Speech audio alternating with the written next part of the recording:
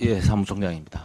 정상적인 사람이라면, 특히 정상적인 정치인이라면 할 말과 상가해야 할 말을 구분해야 합니다. 그런데 저 이상한 나라에 사는 사람들은 그런 게 전혀 없는 것 같습니다.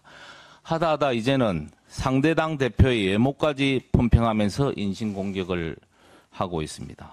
진성준 더불어민주당 정책위 의장님, 제가 기당의 특정인을 지칭하면서 살모사가 서서 징그럽다 라고 하면 어쩌시겠습니까?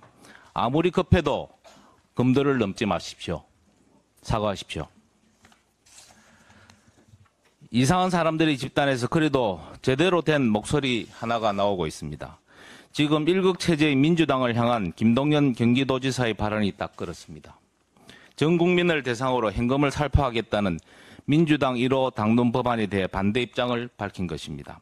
그는 13조 원이 하늘에서 떨어지는 돈이 아니다며 지금 상황에서 모든 국민에게 나눠주는 것보다 더 어려운 사람에게 두텁고 촘촘하게 더 지원해 주는 게 맞다라고 말했습니다. 어디선가 많이 들어본 얘기 아닙니까? 우리 국민의 힘이 늘상 주장하던 얘기입니다. 과연 민주당의 일극 체제가 깨어질까요? 아직까지는 기대가 난망합니다.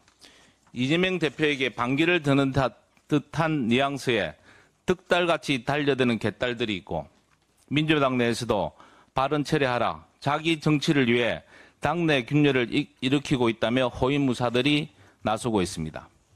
김 지사를 얼마나 물고 떠들지 그리고 김 지사가 얼마나 버틸지 자못 궁금합니다. 아무쪼록 김 지사의 무언을 빕니다. 의료 공복이 장기화되면서 지금 앞이면 큰일이라는 불안감이 커져만 가고 이제는 우리 국민의 생명을 위협하는 수준에 이르렀습니다.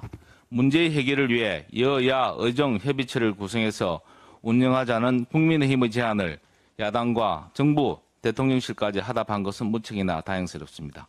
대화를 반드시 시작해야 합니다.